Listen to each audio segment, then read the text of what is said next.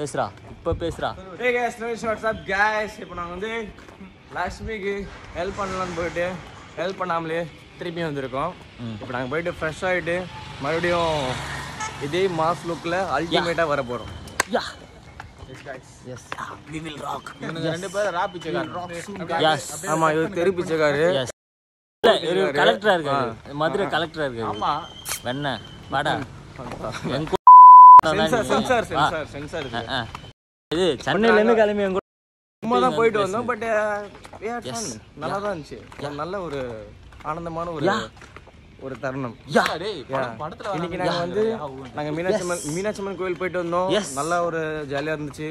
நாங்க வந்து mutton mutton biryani சாப்பிட்டோம். நல்லா இருந்துச்சு. அது தற்செயல். வந்தாங்க. பட் ஆனா பட் ஆனா பட் அந்த ரைவல் டேஸ்ல ஒரு பொண்ணு அவங்க அம்மா இருக்கும் ஹாய் கட்சி பத்தியா? அந்த பொண்ணை நான் மிஸ் பண்ணிட்டேனோ ஒரு ஒரு மாதிரி தோணுது. இந்த இந்த நேரத்துல இந்த நேரத்துல இந்த நேரத்துல கத்தர் அதிக அதிகாரம் இருபத்தி மூணு என்ன சொல்லியிருக்காருன்னா ஸ்ரீநாதி பார்த்து லைக் பண்ணுங்க ஷேர் பண்ணுங்க சப்ஸ்கிரைப் பண்ணுங்க.